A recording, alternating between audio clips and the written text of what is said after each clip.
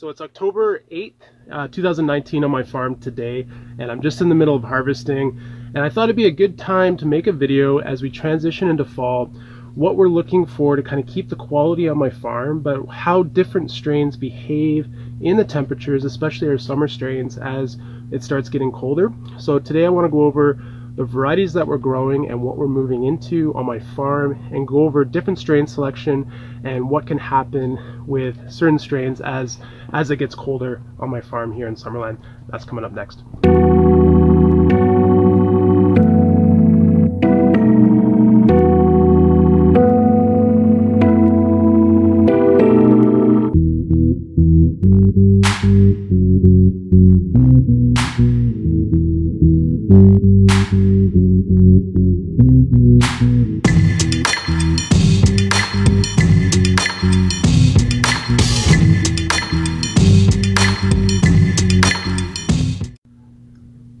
First mushroom, let's talk about lion's mane.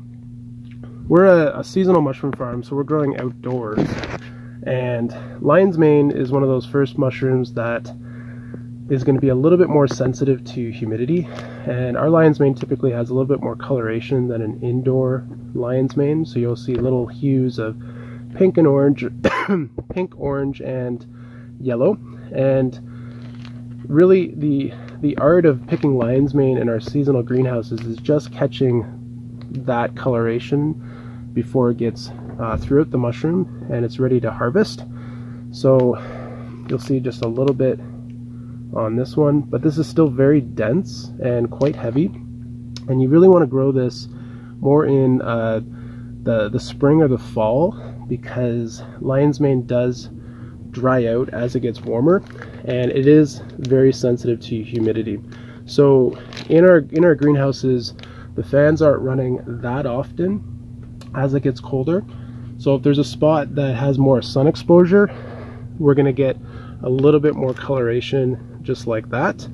But you know, it's not really that big of a deal. That's just the product we have. And if I really want, you know, I could clean this up and expose some of that white flesh underneath but you know, lion's mane is just that tricky mushroom. So, you know, it, it grows well this time of year in, in the fall.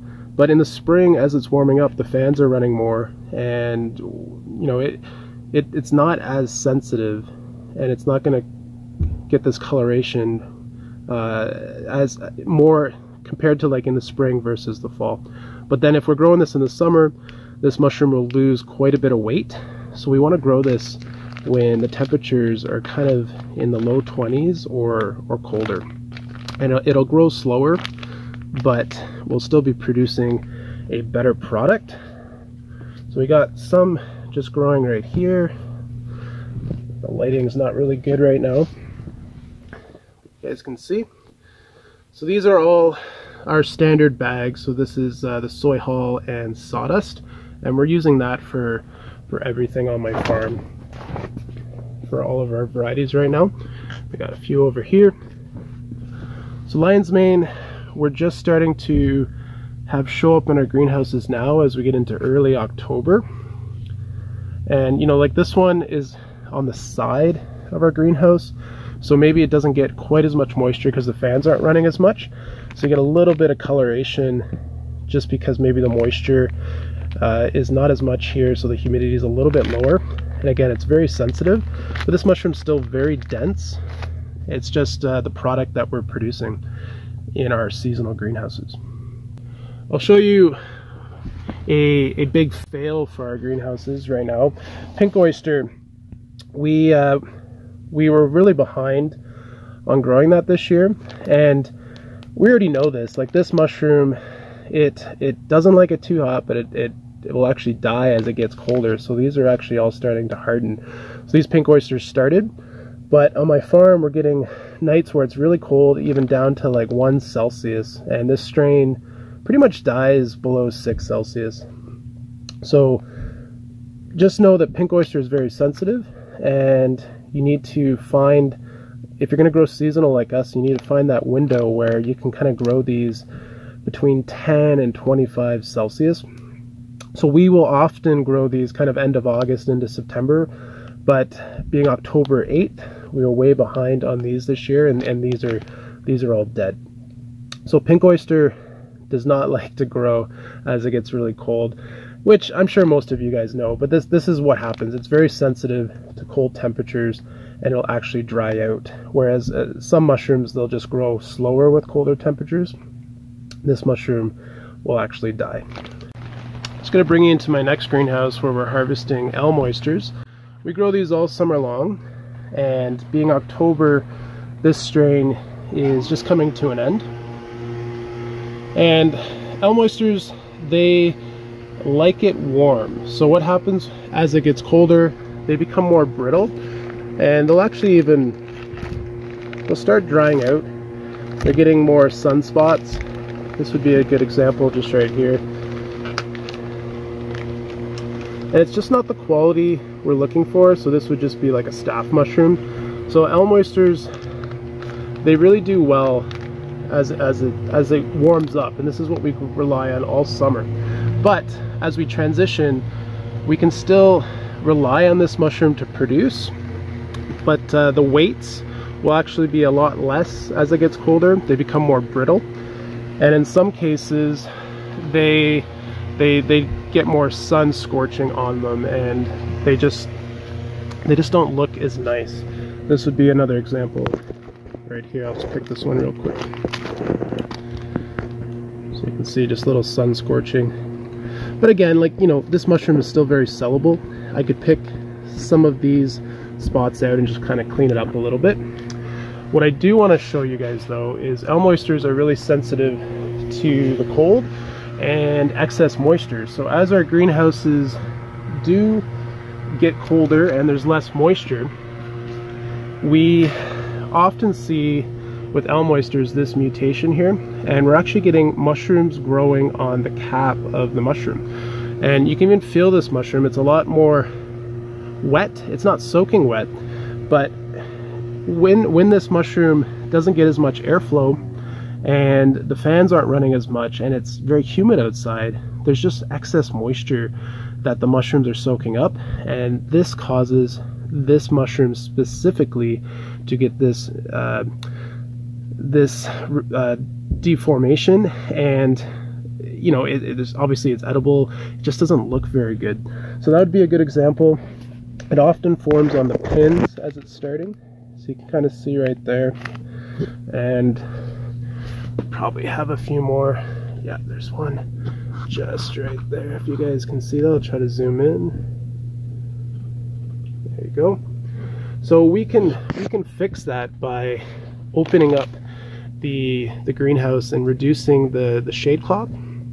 So we'll actually normally in the summer we have shade cloth on the sidewalls here. And that helps keep the the sun from scorching the mushrooms, but as it cools down, we actually roll the shade cloth the shade cloth down and this creates more airflow with these windows that we have in our greenhouses. But it also causes more evaporation which then triggers the fans to run more often. And then the fans they're actually bringing in fresh air as well as our passive windows. And that that increase of fresh air will then kind of dry out the mushrooms a little bit get that stagnant air out and bring in enough fresh air to really stop that deformation from happening. So we've just started doing that now. And the, key is, is not having your greenhouse run too wet. But you know, this strain is getting stressed. It's coming to the end of its life in, in our greenhouses as we're getting colder. So we'll be done growing elm oysters probably within the next week. But still a beautiful mushroom that we rely on for about three months of the year. Finally, we have our pearl oysters, and this is a darker color oyster mushroom that we actually can grow all year long. And this mushroom, as it gets colder, it just becomes darker, but it does have quite a bit of weight as as it gets colder. And this mushroom has a temperature range between 5 and 35 Celsius outside, but when we're using the shade cloth, in our greenhouses, we can reduce the temperature in here almost to as much as 10 degrees. So we'll actually do a double shade cloth over the canopy of the greenhouse and then the shade cloth on the side walls that gets rolled up and we can manage at least 28 Celsius in the peak summer out here and this and this mushroom specifically thrives in those warmer temperatures. So we grow this year round and we rely on this mushroom to transition from cold to hot or hot to cold because we're growing seasonal mushrooms in our greenhouses. Beautiful oyster mushroom that happens to grow locally here in the Okanagan and we cultured that and we've been playing around with with uh, figuring out the temperature range that this mushroom likes over the last three years. And next year we'll be growing this mushroom heavily throughout our entire season. Really meaty oyster mushroom local indigenous mushroom to the Okanagan here where my farm is in Summerland. It's really beautiful. So we call this strain uh, 050 or pearl oyster but it's a Pleurotus ostreatus variety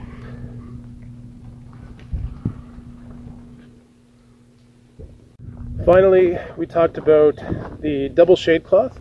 So this, this works really well in the summer, and this is actually a nice insulating layer of air. The top layer absorbs the heat from the sun, and then the shade cloth against the greenhouse really brings down the temperatures. So that shade cloth is going to come off today, and this is actually the beginning of all our cold weather strains, and we have king oyster here. We grow that when it's between 5 and 28 Celsius outside and ideally this this mushroom is thriving you know around 24 Celsius. So the shade cloth will help reduce the temperature in our greenhouse quite a bit. And then we have the beginning of our tree oyster blocks which are here and they haven't started fruiting yet but we rely on this as it gets really cold and this strain is actually frost and freezing resistant and can handle the cold and can handle freezing up to about minus 4 Celsius for maybe 4 to 5 hours.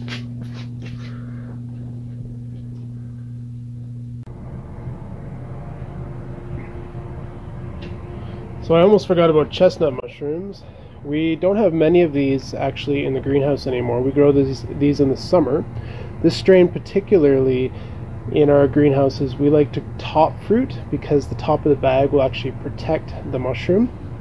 But we've started side fruiting this strain just like we do our oysters in the greenhouse as it gets colder and it's starting to produce some really nice mushrooms. The only thing I'd have to say is if the slit in the bag is smaller, it's producing these gigantic chestnut mushrooms.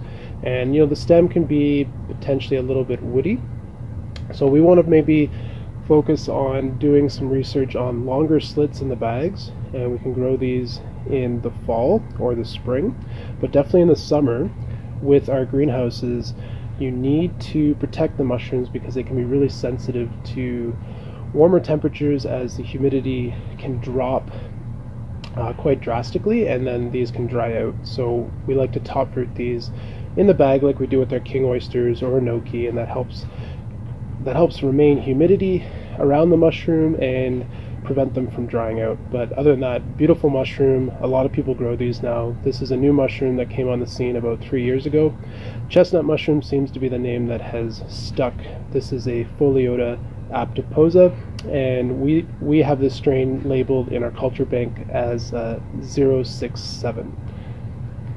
Alright, well that concludes this video today. I hope you guys really enjoy following my farm along and the challenges and the success that we have. And a big part of my farm is strain selection and we've been working on this research for the last eight years. And this is a big part of what makes us really successful is figuring out awesome strains to grow throughout the seasons and throughout the months here in Summerland. So anyways guys, we'll catch you in the next one.